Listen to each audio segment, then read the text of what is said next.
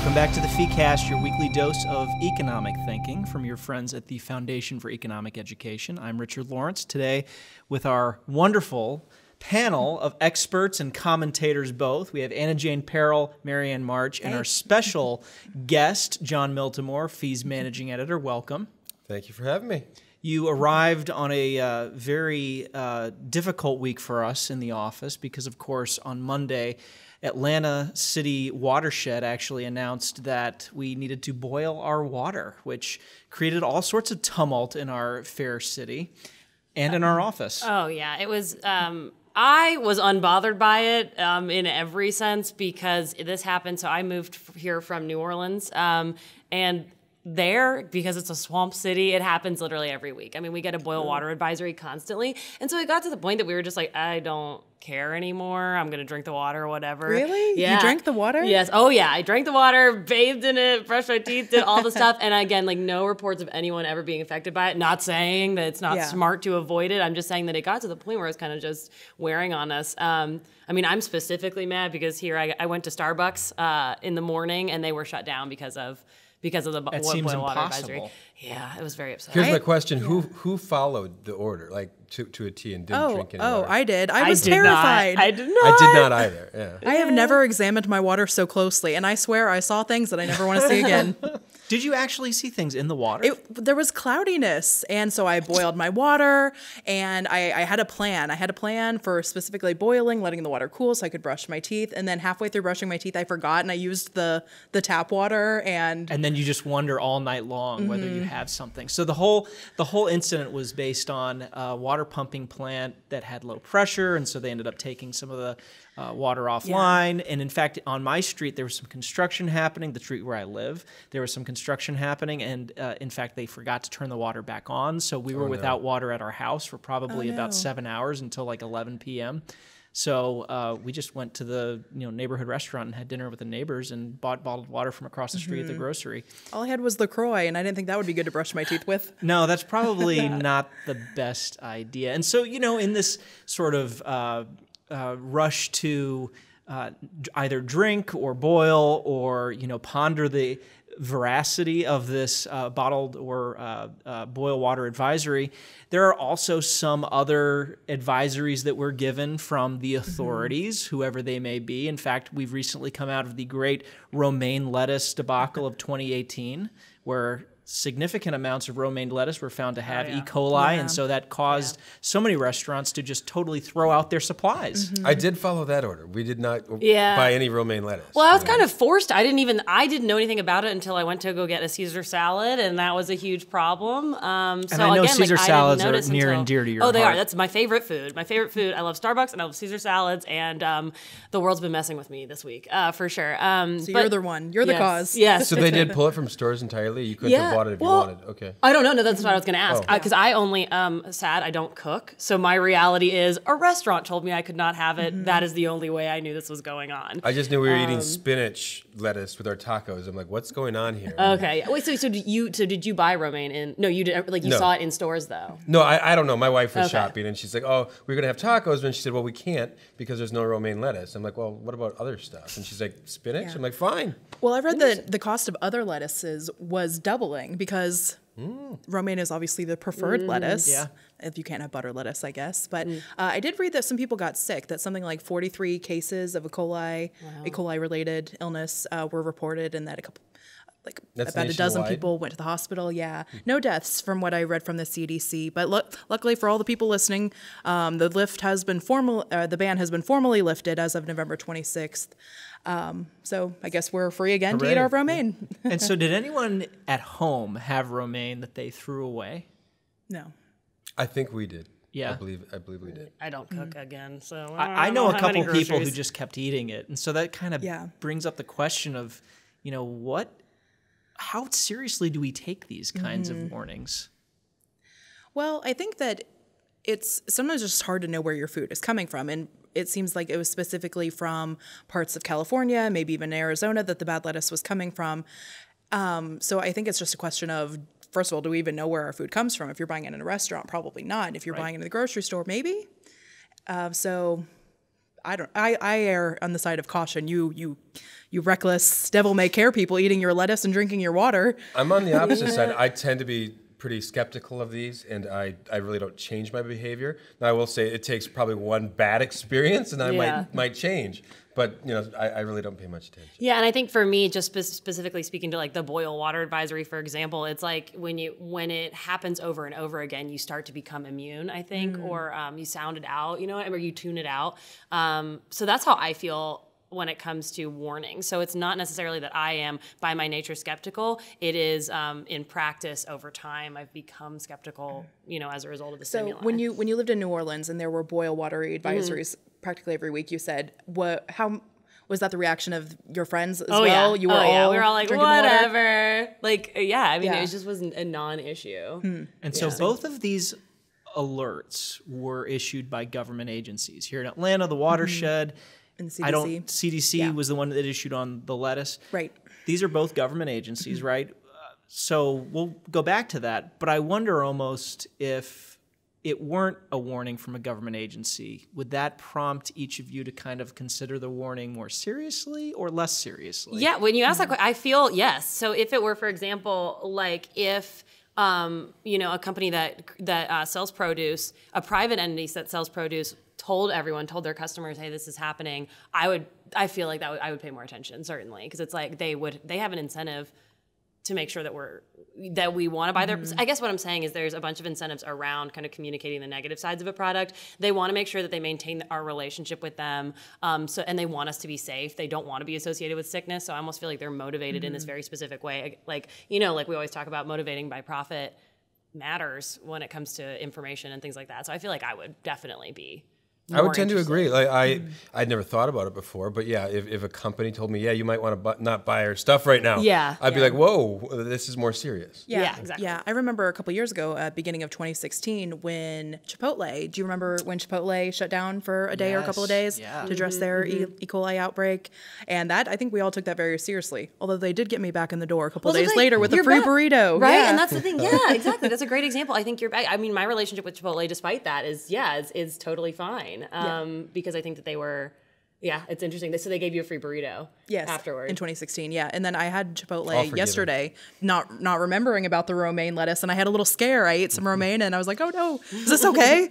I was actually walking back from that restaurant the other night with my husband Colin, and he mentioned because our water wasn't turned on. Do you think we're going to get a refund? I said, no, absolutely mm. not. What incentive does the watershed mm-hmm. have to mm-hmm. provide any kind of concession to us for an inconvenience Yeah. such as Yeah. this? Actually, I doing some reading, I found that a study commissioned by the city of Atlanta found that a day without water in Atlanta has an economic impact of 250 million dollars. Wow. what does that mean? It means that because of our inability to access um, more affordable tap water, people are then buying bottled water, oh, and wow. and with businesses shutting down, and I knew that at the Atlanta public schools were distributing bottles of water and hand mm. sanitizer to the children because they are held captive in their school. You're saying 250 million. Yes. Wow. I mean, yeah, with all the mm-hmm. businesses that shut down as, as a result of that, like I can't imagine how much Starbucks lost, like Starbucks Atlanta, um, mm-hmm. because of the because of the boil water So we, advisory. do we for believe example. that statistic? You know, I mean, the statistics that I have are all from the CDC, and oh. Must be true. uh, hopefully, well, I mean, that does end up making me wonder. It's a larger question, you know, at what point do we stop believing the authorities, right? So let's go back to the government warnings now. You heard them mm-hmm. every week in New Orleans on the mm-hmm. water, right? You just tuned them out. They became sort of the government that cried wolf. Mm-hmm. Here in Atlanta, we don't have it happen all that frequently. At least there is not a lettuce recall every month, right? So mm-hmm. we're maybe not as immunized to these warnings. But at what point do we start saying that this is real versus just sort of some occasion for a government bureaucrat to cover their butt? yeah. Well, I do think that's often what it is. Is that there's fear of backlash if they don't say anything. If there's no warning issued for for the potentially contaminated water for the lettuce, and and somebody gets sick, then um, politicians and uh, civil servants don't want to be left holding the buck. right? And so, you know, is this endemic? It seems to me today that when we talk about what we're hearing in the news media, what we're hearing from our president's direct Twitter feed, that it's possible we might be starting to feel a lot like you did in New Orleans. I mean, hmm. w- this brings up the larger question who do we believe? If we can't believe when the president of the United States says he comes out from a meeting with China with a trade agreement with a promise by China to come out and buy a huge amount of hmm. American made goods, who can we believe?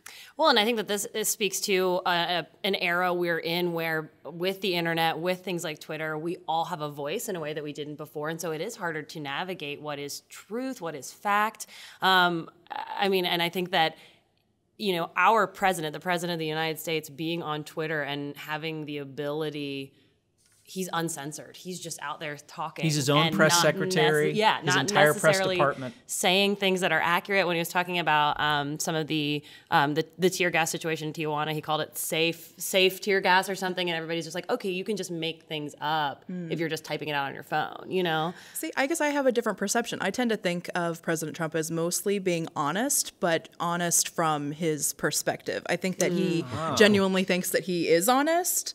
Um, I think. well, I think you're speaking to like the philosophical concept of honesty too. If you talk about truth, I mean, let's you know, let's get heady, but really, like, truth is only it's only in here, um, and your mm-hmm. perception is what defines your truth to a degree. My question is, when did we expect politicians to be honest? I, I remember Mark Twain a long time ago. You know, kind of had a lot of you know funny things to say about you, you never trust a politician. They, we're kind of we kind of expect them to fib Yeah. to us a little bit. Mm-hmm. Um, hmm. is it like when you ask the hairdresser if you need a haircut? Well, of course you need a haircut. Ah. Or how does their this business. suit make me look? Do I look fat in the suit or Yeah, whatever it is? Of course, you look great in that suit. So, you know, I guess there are some white lies, but when you're talking about the President of the United States, then, you know, maybe you want it not to be his personal truth, right? Yeah. I mean, mm-hmm. that's the whole notion behind having an entire group of people working for you in a presidential administration. Mm-hmm. You don't have to worry about expressing my personal truth. And in fact, there was a piece that our president Larry Reed had on the, our website fee.org a couple of days ago talking about personal truths. You know, I'm speaking my truth or she's speaking her truth.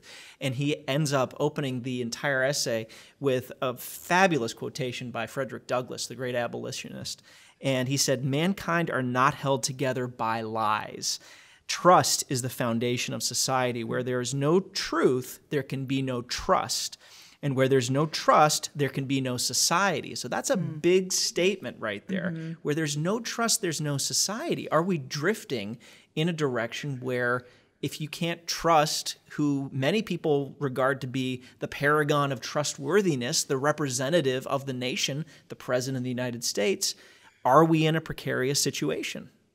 Yes. No, it, it's one of those things. The, the John, Atlantic, to state the the- Atlantic had a great article on this. I don't remember if it was earlier this year or last year, but it said, and it was all about the trust in America that's collapsing. Uh, and Trump's, I'm sure, part of the problem on his Twitter. He doesn't. He's on Twitter. You, Twitter's not a thoughtful forum, right? Yeah. You just kind of speak what's on your mind. Well, you're very limited. It's only 280 characters. 140, I think. Used to be right? Or- 140. They doubled Oh, it, but they it's. Yeah, still. Okay. two sentences. All right. Um, Yeah. But but yeah, so and, and so that's part of the problem. Um, but I think there's there's the phil- philosophical issue as well, uh, moral relativism that says well we, we do kind of have our own truth, which is kind of a preposterous idea. I think um, there you know it it sort of self contradicts itself. It reminds me of Daniel Patrick Moynihan. He said, We all may be entitled to our own opinions, but we're not all entitled to our own facts. But it seems today that the way that we're going, that we are be- beginning to think that we do have our own facts. Yeah. Well, there is so much conflicting uh, reporting that's going on. Um, any pick an issue, and you can find something to support yourself online. Um, So I think that there's a lot of noise, and the way I kind of see it is that we all just have to take responsibility for for ourselves and and for being informed, even though that's difficult because there's limited hours in the day, and I assume we all have jobs and hobbies and things to do. Well, I think, and like I said earlier, I think that we've got a couple of things that have influenced this. I think this era we're in, which is the internet um, and access access to information, is at an all time high, and being able to express yourself is at an all time high, and having a forum to talk about how you feel and what you think is is the most available it has ever been. In, in We the all history have a our lot of nation, voice. and- yes, Yeah. and in, in in civilization in general. Um, and I think that it also came to a head when you see what this last election looked like. It was no longer it was no longer a battle of facts. It was it was it was so polarizing from an emotional standpoint. You're talking about 2016 yes, presidential. Yes, I'm talking about. I feel like ever since then it has become. I mean, we we truly it, it uh, eroded how we perceive fact um, so fundamentally, and then and, and kind of in the wake of that, we are just kind of left um, to to gather in tribes very passionately. Media has changed a lot, right? We've come a long way from Walter Cronkite, you know, reading the nightly news. The most trustworthy man in America. and everyone trusted Walter. and, and, and, you know, it was, but it was more straight news, just the facts. Yeah. And now news is blending into so much opinion It's as so well. emotional now. And Yeah. and there is that war between between the media and Trump, where it's very antagonistic, and it, it mm-hmm. is hard. Like mm-hmm. you look and you, it's hard to figure out what to believe today. And so, if you can't believe the president all the time when he's tweeting, can you believe his critics? No. Uh, no, and I'll read just John with the second no I'll, of I'll the jump in. since. It was, it, was, it was a great quote from George Orwell that he wrote um, in the 40s. Um, and it, it was, you know, Orwell worked as a reporter um, during the, the, Spanish, uh, the Spanish War. And he was speaking with a friend, and here's his quote. He said, History stopped in 1936. Um, or I'll, I'll go back. I remember saying once to Arthur Koestler, history stopped in 1936, at which he nodded in immediate understanding. We were both thinking of totalitarian, totalitarianism in general, but more particularly of the Spanish Civil War. Early in life, I've noticed that no event is ever correctly reported in a newspaper. But in Spain, for the first time, I saw newspaper reports which did not bear any relation to the facts, not even the relationship which is implied in an ordinary lie.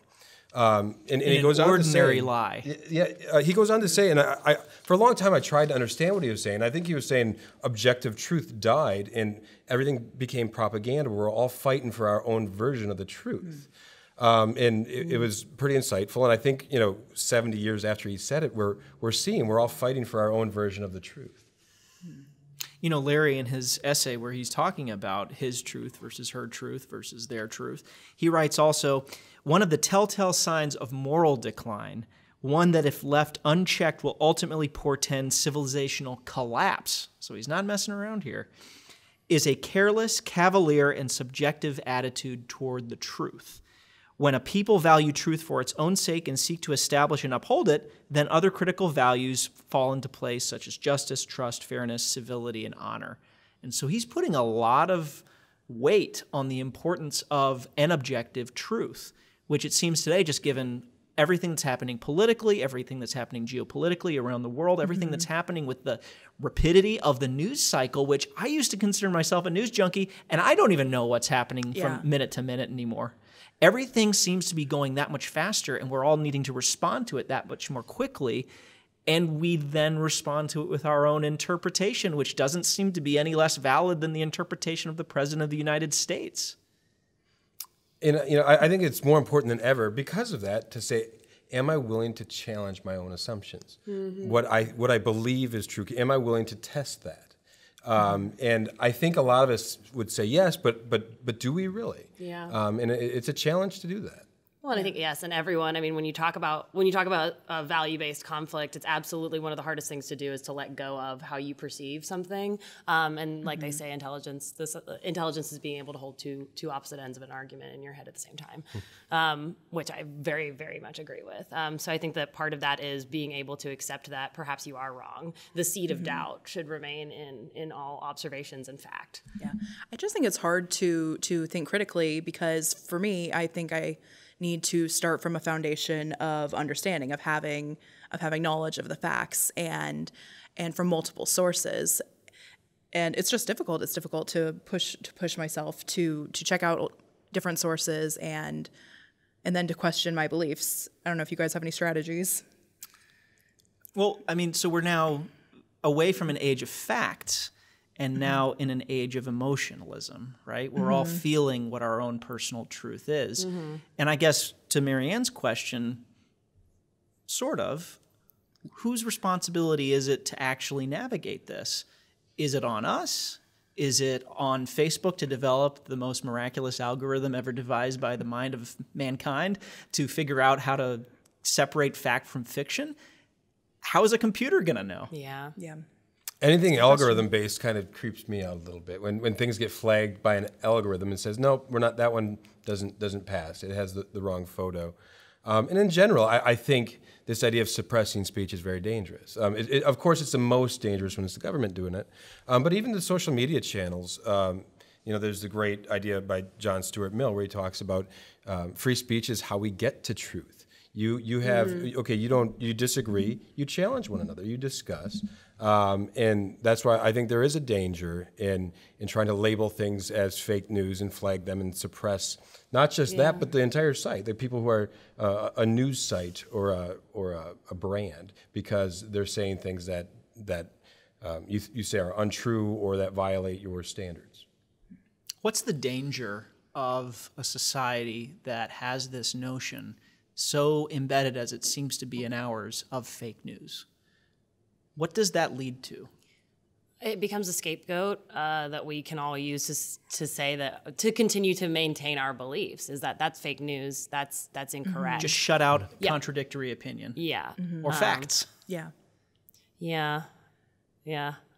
I mean, I look at some of the things that uh, certainly the Russian government did not originate, they didn't invent. But some things like their newspaper, their main newspaper is called Pravda, which in Russian means truth. And so many articles in that are pure propaganda from mm. the Kremlin, which is the, the seat of power in, in the Russian government. And so Russians just kind of accept everything as fake news and they just sort of shrug and they wonder if nothing's real, why should I care about it, right? So it removes not only a trust in the media, not only a trust in the ability to get to the truth, but also agency from people where they can't actually plan a way to improve their own life and the lives of, of those people in their country. I mean, are we teetering on that sort of uh, f- fake news sort of ambivalence that it seems to be is in other places in the world? What would that mean for us? Well, I think we'll always have. I mean, I think we will have the problem of too many voices all the time. Now, I don't know how that's going to stop. Just but a I think filtering event- problem. Yeah, yeah, and I think that it, we are going to have to get better at that, at the filtering component. Um, but I, but I fear that. When I say that, I think, like you said, find multiple sources. Find multiple sources, hear multiple sides of an argument that you you want to know about, um, and then continue to build relationships with the sources you trust because trust is critical. But I, I fear that when when I say that to some people, they hear, well, there are there are certain outlets that I just like because they're saying it how I like it, and then that's trust. That's the trust they build. And I so I, think don't know how to combat that. It's an important question. Do humans want truth? Yeah. You know, there, there's a great quote. Um, you know, humans can't handle very much reality, which is saying like humans can't handle the truth very Yeah. well. Yeah. Um, and a lot of people, they, what do they do? They go to the media that kind of confirms their biases. And Exactly, Confirms what they want to think. Yeah. And you can't make people want to want the truth. Mm-hmm. Yeah. Well, generally speaking, I think people prefer entertainment to actual truth, and mm. that's mm-hmm. why we have the kind of new, news media we have today. Is that what if it bleeds, it leads. We're going for the the stuff that keeps people watching. I do really like Kylie Jenner, so yeah, that's correct. Entertainment. So, where do we go from here? We have a situation mm-hmm. wherein trust seems to be eroded. Facebook and YouTube and Google are all trying their own approach. Eventually, there will be legislation on this, whether we like it or not. Uh, what's what's the prognosis as we end 2018 and go into 2019 for truth in this country? I'm gonna leave the that to you guys because my answer will be too pessimistic. Oh, So- I was gonna say so- I- that's a tall order, Richard. I don't know It if really you want to is. ask just us three. That's a tough. That's a tough question. I don't know. Well, so let's Marianne, hear- help us out. What do you got? Well, I guess I'll just share my my tactic that I use to to try to stay informed and hopefully uh, parse out some truth from entertainment. Um, and that is, I, I make it a point uh, every morning to listen to NPR and Fox News. I seek out the Young Turks and Ben Shapiro just so I feel like I'm getting a a somewhat a somewhat thorough range of of information and opinions and and I and I do feel like that's almost the best I can do because there are a limited number of hours in the day, and I I have things that I need to do like work and uh, and avoid lettuce, I guess. So um, So your truth your in 2019, huh? yeah, your advice is to seek out, I guess, the range of these different sources to see what they're saying about Yeah. the And I- same subject and I guess different subjects. And I really would encourage everyone to do that because I think that the alternative is y- there's maybe two alternatives. You either try to get a broad range of, of information or you listen to a couple a couple of sources or you try not to consume any news whatsoever. And I think that last strategy is the worst because stuff is filtering through because because news is entertainment and you can't scroll through Facebook or Twitter without coming across something. So even mm-hmm. even friends I have who are not political and do not stay abreast of current events, they they still stuff gets through and then they're at the mercy of whoever. If Somebody- nothing else, you won't be able to understand the Saturday Night Live cold opens. That's the the only reason I watch the news. I mean, yeah. I, I I think we need a, a, a free Other than saying speech renaissance. It really, and if you look, uh, support for spe- free speech is declining, and, and that's concerning. Um, but if we can, you know, look at free speech and realize how important it is, we let these ideas do battle, and we challenge ourselves, and and and don't be afraid to expose ourselves uh, to ideas that challenge our own. And I truly believe if we do let the ideas contest, we are going to get closer to truth. You have a lot of people now on college campuses who think that it's important to insulate people from different opinion, that it's important to establish a bubble that can protect folks from contradictory opinion. And that's one approach, right? The other approach is what you're saying, which is allowing those ideas to battle in open forum and to have at each other, which has always been sort of the classical liberal approach to the problem of difference of opinion, difference of experience in a society. And, and in mm-hmm. this case, it seems to me like there's an institutional crisis, right? Not only is the government no longer seen to be credible, at least as it used to be by most people. Not only is the new news media not as credible as it used to be, um, but everyone sort of again tries to go back to their own premises, tries to reaffirm their own biases, and the only way to really combat that is to allow those biases to come out in open open debate. You know, that one of the major networks has the lean in as, as their catchphrase. That's what we need to do. We need to lean in, but lean in, but do it respectfully and not be afraid of anyone's ideas and say we're we're all mature adults. We can talk about these things um, in a rational way. I think it's a little easier said than done, especially the rational adult part. Well, that, that I, I'm not saying it's easy, but yeah, yeah. Well, like uh, yeah, I mean, maybe just for our part, celebrate stories of that of that um, of including both sides to an opinion or coming to the table with people you disagree with. Um, what's that video we have on Fee? Um, you know the uh, oh, David. Oh, what's his name? You know the man who interacted with the the African American man who interacted with the Klansman. Yeah. and yeah, that's what, what's his name? I don't remember, but that video is so amazing. We'll- We'll- we'll- no, we'll that put it in the comments just because yeah, that's an it's important such a piece. good to me. That's a good example of we need to tell the stories of people who who do um, shed their their biases and their their value system informed identities um, to make change, and that's really important. And so this gentleman you're talking about engages, he's a black or an African American man. He Yeah. engages with people who are KKK members and he actually sits down and, and mm-hmm. talks to them, right? So With the purpose of understanding. With- where are they yeah. coming mm-hmm. from, right? Mm-hmm. Don't try to go in and change their mind immediately. That'll happen. And that's what's happened with many Klansmen who he's engaged with. He's actually persuaded them that, you know, there's actually a lot of value in, in talking with people who are of different experiences, different backgrounds, ethnic- as ethnicities, and, and whatnot. Yeah. I, I think it's an important message. I mean, the Christian tradition does call for us to love our enemy. We don't we don't ostracize them. We we, we don't always have to agree on things, but we engage each other, Yeah. even if our ideas are different. And I think um, that message is, is a bit a little bit lost today, and we need to to bring that back. And so, what happens in 2019? If you were to put on your prognostication hat and imagine what exactly the state of truth and the age of emotionalism is as we go into the new year in just a couple of weeks here, are we in better shape? Are we going to have a mass exodus from you know cable news and and social media for people who are all upset with the lack of truth and clarity on those media, or is it more of the same? I suspect that it gets worse before it gets better. Yeah. Uh, short term, I, I think it is Yeah. going to be that because we're kind of in the silly season. We already have presidential politics that's getting ramped up. Um, long term, I think the outlook is a little bit brighter. So what happens? How do we? Is it just the pendulum swinging back? What makes it better? I think so. I, I, think that eventually we will see. So, like you said, I think it's going to get worse, and then something's got to give. I don't think that this is a sustainable way that we all talk about fact right now. We remember It's the core principles. Um, you know, to your to your question, I think we remember the principles um, that that helped us get where we are, and remember that those are important. The the classical liberal ideas that we've kind of, you know, there. We, it was a pendulum, and we, we swung a little too far. We need to settle back mm-hmm. in, and I, th- I think that can that can happen. Yeah.